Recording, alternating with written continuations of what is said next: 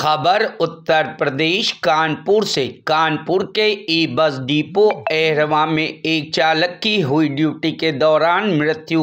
परिजन depot gate पर शव रखकर कर रहे मुआवजे की मांग। सेवा प्रदाता company Hansa city bus private limited और K C T S L के जिम्मेदार अधिकारी झाड़ रहे हैं पल्ला। नोटियार साहब, ये देखिए। बीबी सिंह को घसीटते हुए औरतें ला रही हैं। ये देखो।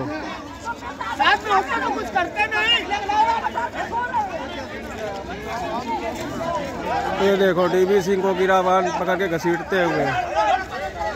ये देखिए।